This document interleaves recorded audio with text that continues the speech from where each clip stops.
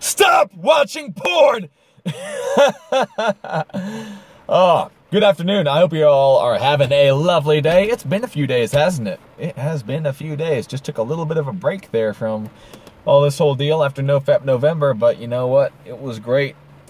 Learned uh, learned a few things over the last few days. Just got some time to think and uh, ponder and reflect and pray and walk and all that good stuff. I Actually went on a seven hour walk on Thursday night until about 3 a.m. That was that was good. That was good. I really liked that. I recommend that. But oh, one thing I will say is please take breaks to stretch and stuff like that. I did not, and my hips are still a little bit sore. It is weird, and I think I probably don't walk correctly or something. But anyhow, I'll deal with that later. That was enough introversion for one night for me, though. I had the next day off, and I did, uh, and I had a half day at work on Saturday, which was yeah. Didn't uh, didn't really hang out with people a lot, and that sucked. that really sucked. Which is crazy because I used to be a totally 100% introverted and now it's apparently not like that anymore. I definitely love people. Before, I did not care about people one bit. And just, I was more annoyed with them than anything. And that is just totally 100% turned around. I love people. I love going out and doing stuff with people. It's awesome. And yeah, it's awesome. Do not like the whole staying at home alone thing at all. Man, it is, it's, a, it's rough. and part of that is due to NoFap, and part of that is due to you know general self improvement and stuff. A lot of stuff that's taken place over the last couple years, but you know what? It's all good. I, I love. I love it this way. It's awesome. So much more fulfilling. So much more. Uh, just so much richer, really. But anyhow, let's get to the uh, the point of this video. Like I said, I had some time to think and reflect and all that kind of good stuff, and look back at you know some of the stuff that I've written before because yeah I used to write about this a little bit anonymously and I'm gonna continue once I get my whole website stuff straightened out but uh, yeah some of the stuff I used to write uh, some of the old videos and stuff I rewatched a little bit of my old stuff and I got to thinking about, you know, what, what are the two biggest epiphanies that I've had that have helped me quit porn? You know, what, what are the two things that, if I could say anything to, to somebody about how to quit porn, if I could only say two things, what would they be? And the biggest, the biggest differences, the biggest realizations that made the biggest difference are one, I always have a choice, and two, it's never about what I want. So, back when I was in the process of quitting porn and stuff like that, which was a long process, I, I really had wanted to quit from the day I started. It was something that I'd never wanted to get into, uh, and I just I just hated it the entire time. And I, I know a lot of you kind of sympathize with that, hating this thing that you constantly do. And even the Apostle Paul sympathized with that. He says, um, I think it was the Apostle Paul. Correct me if I'm wrong, or I'll probably look it up later and correct myself. But he says the thing I don't want to do, I do. And the thing I do want to do, I don't do. And he says somewhere, "Oh wretched man that I am, who will save me from this body of death?" And it's just this this loathing of the things that you do. And I was 100% there for about five or six years of you know, being stuck in that addiction. And I hated it every day. I hated it, and every day I, I swore to make it different next time. And every day I, I said, okay, well, tomorrow is different. Tomorrow I will, I quit this for good. This is not a thing anymore. And I was as resolved and I was as committed as I could possibly be in those moments. But it didn't last.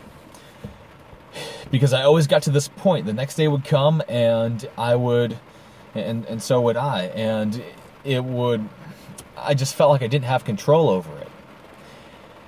It was just, I, I got to this point where nothing else I cared about, none of my motivations or anything like that, none of my old commitments mattered anymore. Or rather, it's not that they didn't matter, it's just that they they didn't have the power to stop it. They didn't have the power to stop the ur- these powerful, powerful urges because your sex drive is a powerful thing. Plus, the way the uh, the addiction itself, the way it changes your mind is also very powerful. You have these two extremely powerful forces that are fighting against you. And in many cases it feels like you can't stop it. I felt in so many times, hundreds of times, like I couldn't stop it. I would be on the computer, I'd be doing something else that was, you know, totally innocent, and then I would get a little closer and a little closer and a little closer. A lot of times it was curiosity that got the best of me. But even when I recognized what was going on, it was like I couldn't help it. It was just like there was the, this force from inside me or outside of me or something like that that was forcing me to do that. And I actually believed that that was basically the case for a long time. I, I believed that I couldn't help myself. But that was a lie. You always have a choice. You can only fail. You can only fail this if you choose to. Uh, you have to take action to watch porn, okay? Unless you are strapped to a chair with your eyes, you know, taped open and somebody is force feeding you porn somehow. You always have a choice, and the battle is always lost or won with a choice. And I had to realize that. I had to accept that. I had to accept that. Guess what? I, I can literally I can literally make my hand move. I can literally make my hand move the mouse over or, or whatever on your phone or trackpad, whatever it is, your, your crusty, you know, Dorito stained keyboard. You can make your hand move and close the window or go somewhere else or stand up and walk away. And you have to accept that you have this power. And a lot of times, yes, that sounds like it's oversimplifying it, but what we have to realize is that the reason we get caught up in all this stuff, the reason that it's so difficult isn't because it's it's too complicated and this kind of way of thinking is oversimplifying it. It's because we overcomplicate it.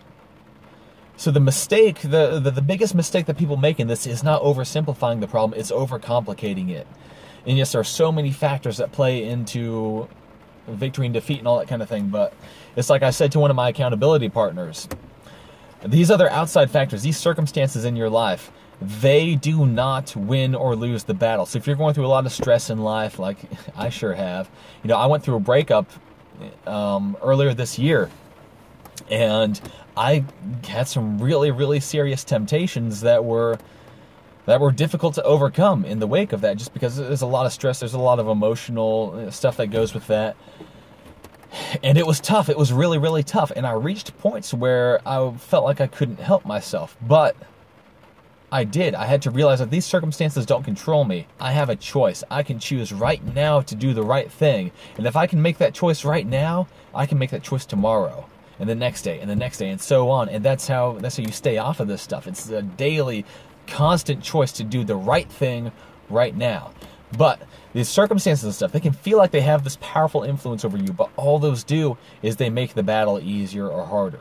These circumstances, all, all these other things that you try to do, they make the battle easier or harder, but they do not win the battle. Even these other tactics that I've talked to you about, they do not win the battle. The battle is won always. It's either won or lost by a choice. That is the only thing that wins or loses the battle.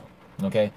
You have to make a choice, yes or no. And you always, always have that choice. It's never out of your hands. You are never just a victim of your circumstances, okay? Another thing I said to my accountability partner is pornography can't rape you. Okay, this is not something that can just overpower you, take control, and make you do what it wants you to.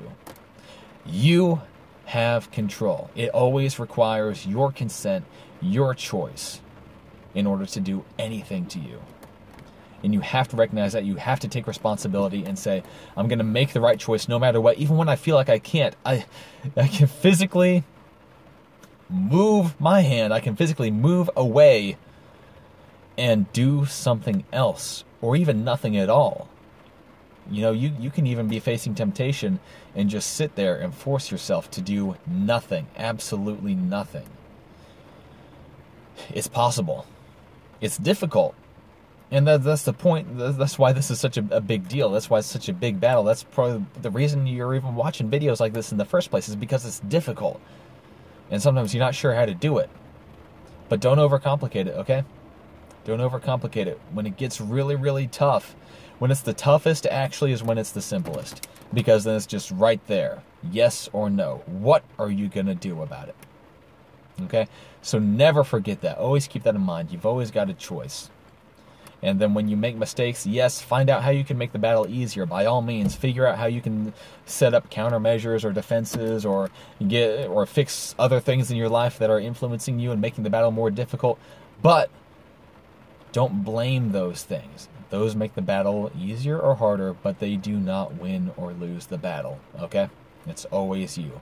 Now, the other thing is, and I'll try to be a little bit more briefer on this part, but already 10 minutes in. Wow. The other thing is, it's never about what you want, okay? God gave us two commandments. I've said this so many times before. Two main commandments that everything else falls under. Love the Lord your God with all your heart, soul, mind, and strength. And love your neighbor as yourself. Okay, we are we exist in order to love God and love others. That is the whole purpose of this. Okay, this life, this entire universe. it's not about what you want it's not about what you feel like and the same thing goes for pornography and the thing I, I, realized that that just clicked with me one day i think it was july of last year july 2015 and i realized you know what it doesn't matter what i feel like because so many times i feel like watching porn so many times that i want that so many times my other motivations and things the other benefits to quitting don't feel as significant as the the pleasure of giving in. But then I realized it's not about what I want. It's not about convincing myself to want to quit porn more than I want to watch porn. It's not about try, trying to find ways to motivate myself and get really motivated and always be excited about quitting porn or anything like that. It's not about, you know, finding, it's not about what I'll get in return. It's not about maintaining uh, healthier relationships with other people or healthier relationship with myself. It's not about having more energy or you know boosting my testosterone or anything like that. It's not about saving time. It's not about any of those things that I want. It's always about what God wants. As a follower of God, as a uh, hopefully aspiring to be a man of God, it's always about what God wants. It's always about God's purposes for me. And the uh, the funny thing, the ironic thing, is that once you give up yourself, not yourself, one word, your space self. You can put a capital S on self if you want. Go ahead and give it a name. But once you give that up, once you give up holding on so much to what you want, once I gave up holding on so much to what I wanted, then I became happier. I became so much happier doing just what God wants because uh, at the end of the day, that's what's going to be most fulfilling to us because that's actually fulfilling our purpose. We ourselves become fulfilled, even if the dream, even if the things that we think we desire, even if our alleged desires go unfulfilled, we ourselves are fulfilled because we're not just our desires. We're a lot more than that. It goes, who we are goes a lot deeper than what we want. Okay? And so when we do what we were created to do, then it's not that our desires are fulfilled, it's that we ourselves become fulfilled. And that's so much more satisfying. That's so much better.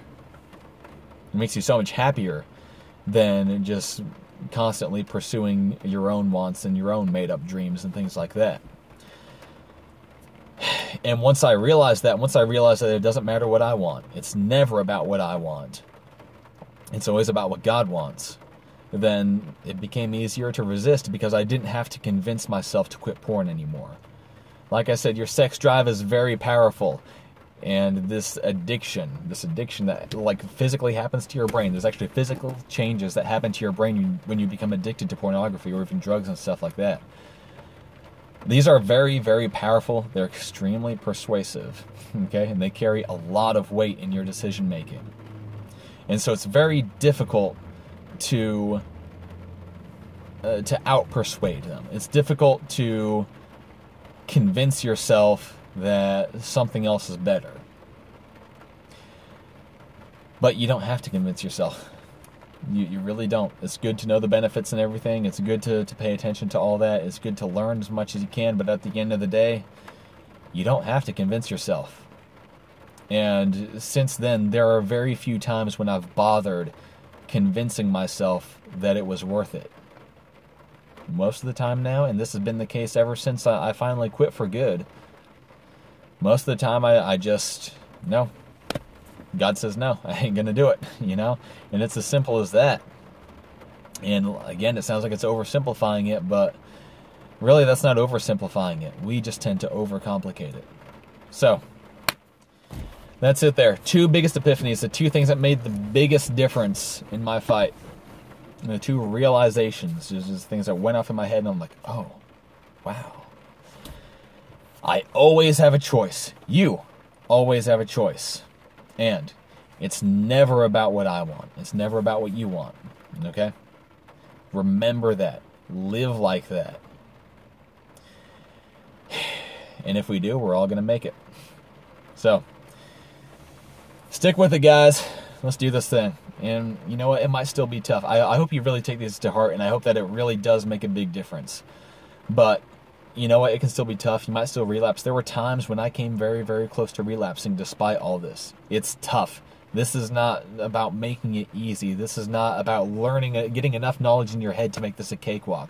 Like I said, your sex drive is very powerful. It ain't going away and then of course addiction and stuff. The, the addiction the physical changes take a long time to reverse.